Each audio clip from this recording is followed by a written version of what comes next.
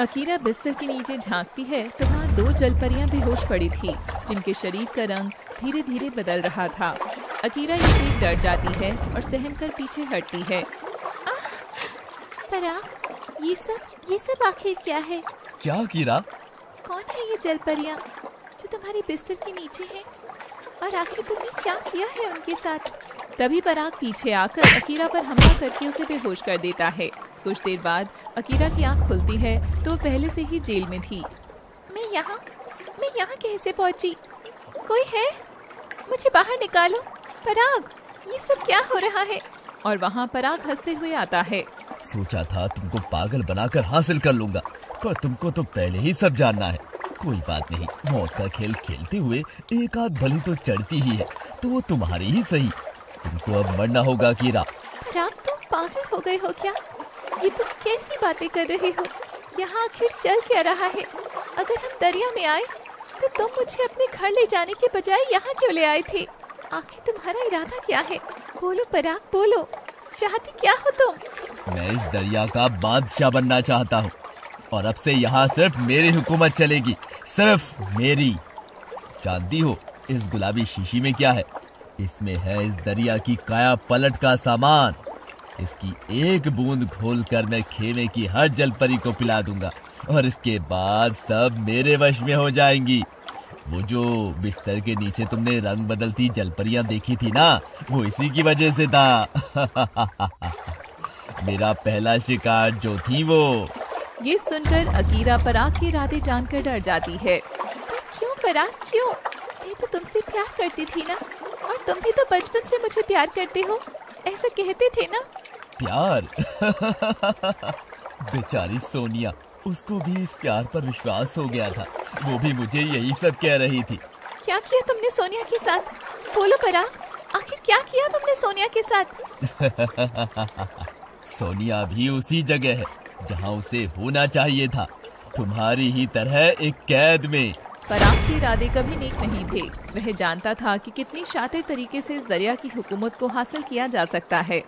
इसके लिए उसने एक खेमे से अकीरा को पटाया और दूसरे खेमे से सोनिया को फंसाना भी शुरू कर दिया। जब सोनिया अकीरा को ढूँढने खेमे से दूर निकली थी तो पराग ही था जिसने सोनिया पर पहले हमला किया था और बाद में बचाने का नाटक करके उसका विश्वास जीत लिया।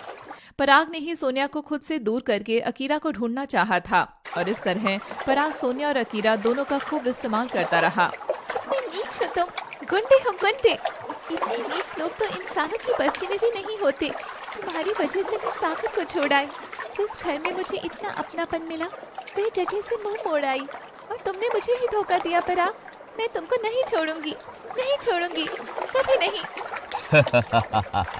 छोड़ने के लिए पहले पकड़ो तो सही, और उसके लिए पहले बदला तो लो। जानती हो, इस अंधेरी जेल में क्या है? तुम्हारी मौत। और पराग हंसता हुआ वहाँ से चला जाता है। अकीरा उसकी धमकी से डर गई थी। वे जादू से बाहर निकलने की बार बार कोशिश करती है, मगर पराग जेल के चारों ओर घेराबंदी करके उसके जादू को रोक देता है। कुछ देर पहले पराग चलाकी करता हुआ एक गुलाबी रंग का दासी जलपरी को अपने साथ लाता है और जेल के सामने खड़ा होकर बात करने लगता है। ओह ये तो वो मानव जिसकी आप बात कर रहे थे आका। हाँ यही है वो। अब इसका खेल भी खत्म हो जाएगा। मैं ऐसा कोई भी दुश्मन नहीं छोड़ना चाहता जिससे मुझे खतरा हो। मगर आप करेंगे क्या? मैं कुछ नहीं करूँगा। जो होगा वो इसी की वजह से होगा। हमारी जलपरी की दुनिया में जब एक खास जलपरी को कोई मानव छूता है तो वो पत्थर में बदल जाती है। तो बस मेरी सबसे खास सिपाही जलपरी अकीरा को मैं कारागाह में खुला छोड़ दूँगा। फिर वो इसे खूब छुएँगे और ये बन जाएगी पत्थर। खेल खत्म। आका ये तो बहुत मज़ेदार नज़ारा होगा। कितना तड़पेगा बेचारा। लेकिन आका अगर इंसान ने पहले ही अकीरा को छू दिया तो? हम्म, बस एक यही खतरा है। अगर ये इंसान अकीरा को छू देगा तो अकीरा शहीद हो जाएगी।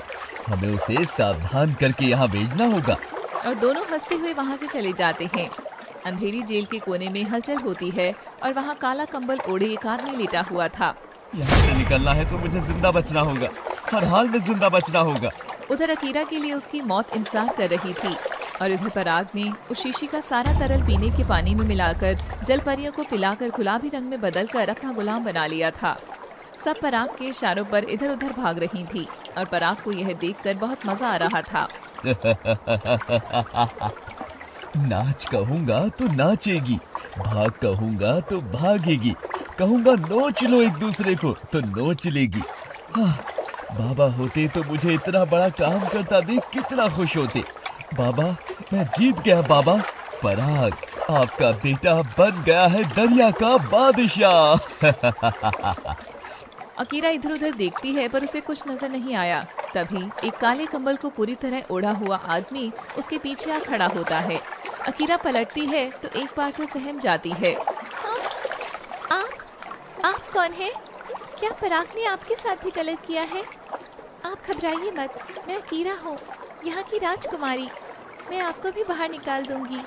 अकीरा का नाम सुनते ही आदमी घबरा जाता है। अकीरा यानी खास जल परी हाँ मेरी माँ ने रखा था ये नाम। पता नहीं वो कैसी होगी। मुझे उनकी बहुत याद आ रही है। माँ, मुझे अपने पास बुला लो ना। अकीरा बोल ही रही थी कि आदमी ने कंबल से हाथ निकालकर अकीरा का मुँह दबा दिया और इंसान का स्पर्श पाते ही अकीरा धीरे धीरे पत्थर में बदल गई। उसकी आवाज़ एकदम दब गई, मगर आँसू अब भी बह रहे थे।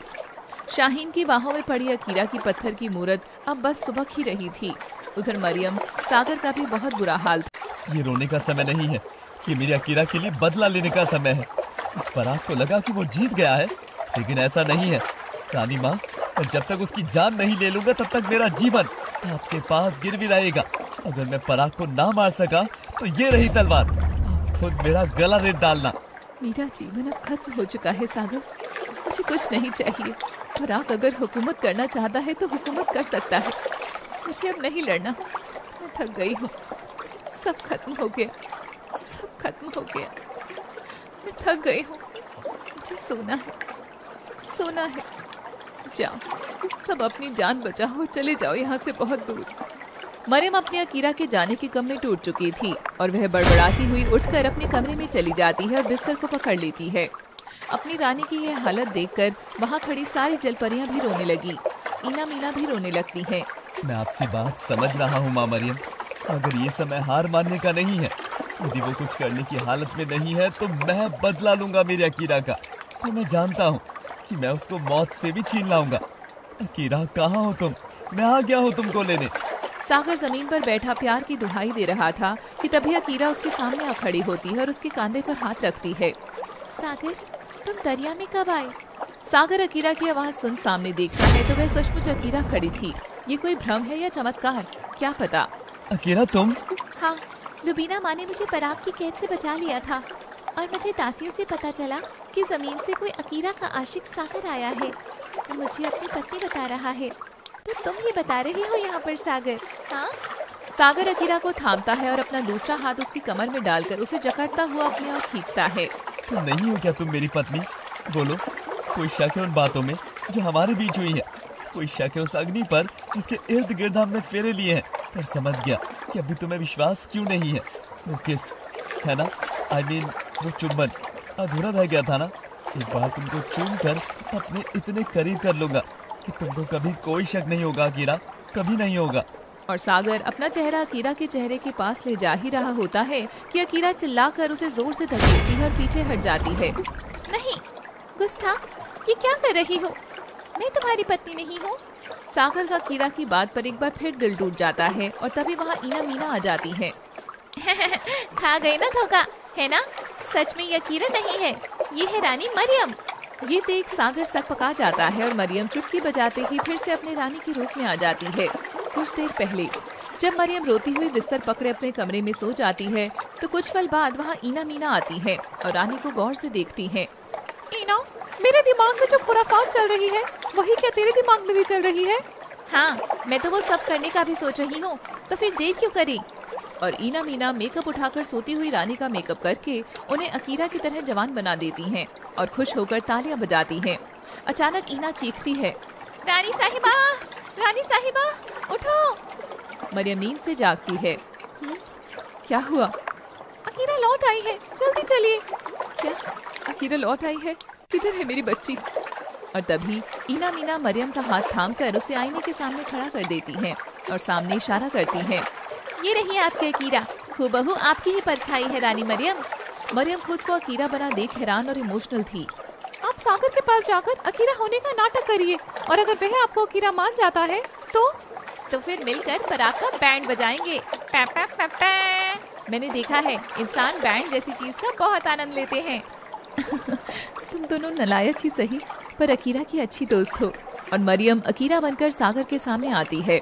अब मैं अकीरा बनकर पराग के पास जाऊँगी, लेकिन उससे पहले ईना मीना के पास मेरे लिए कुछ और भी है। ईना मीना गुलाबी रंग लाकर मरियम को पोत कर गुलाबी रंग की जलपरी में बदल देते हैं। इससे रानी मरियम पराग को ये दिखाएँगी कि वो उसके जादुई शरबत को पीकर उसका गुलाम बन गई है। और जब रानी मरियम अकीरा बनकर पराग को उलझाएँगी, तब तक तो कारागाह से अकीरा और रानी राजा को भी आज़ाद कर लेना, सागर। वाह तुम दोनों तो बहुत स्मार्ट हो यार। नहीं नहीं सम्राट नहीं। मैं ईना वो मीना। सम्राट तो हमारे चाचा का लड़का है पर तुमको हम दोनों मर्द लग रही हैं क्या? ए ए। हाँ, हाँ, हाँ। मैंने बोला था मीना इंसानों की दुनिया में पार्लर हुआ थे एक बार। सुना है वहाँ जाने वाली लड़कियों को कटरीना और आलिया जैसा कर देते हैं। ये सुन सागर माथा पीट लेता है। अब समझा। अकीरन के साथ रहकर ऐसी गदी थी। मरियम पूरा प्लान समझकर पराग की हुकूमत में अकीरा बनकर चली जाती है। पराग दरबार में था कि तभी वह अकीरा को आता देखकर चौंक जाता है। तुम यहाँ? अब देखिए क्या पराग सागर और मरियम के प्लान में फंस जाएगा या फिर मरियम भी कैद हो जाएगी? जानने के लिए देखिए हमारा इश्क दरिया का अगला और आखिरी भाग केवल एनम स्टोरीज पर।